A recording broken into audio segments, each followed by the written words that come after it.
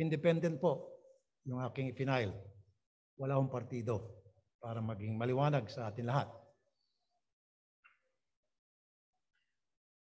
Sa loob ng mahigit dalawang dekada ko po sa public service bilang isang broadcaster na nakakaharap at nakakausap ang mga kapuspalad nating mga kababayan.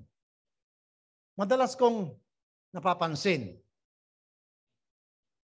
sa kahit anong klasing laban, palagi silang nadidihado at mabilis na nalalampaso ang kanilang mga karapatan. Lalo na kapag mayayaman at makapangyarihan ang kanilang nababangga. Kaya madalas nating marinig mula sa kanila ang sigaw na hindi patas ang batas. Now, yung ganitong klase mga pangyayari, hindi dapat natin pinapayagan na mangyari sa ating lipunan.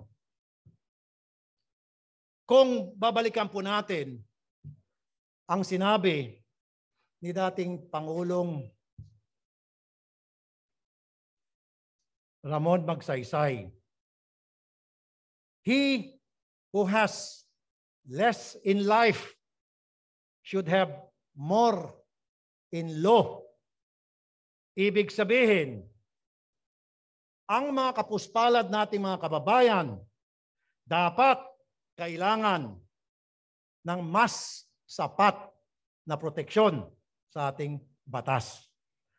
At yan po ang isang dahilan kung bakit ako nandito ngayon sa harap ninyo. Maraming salamat po.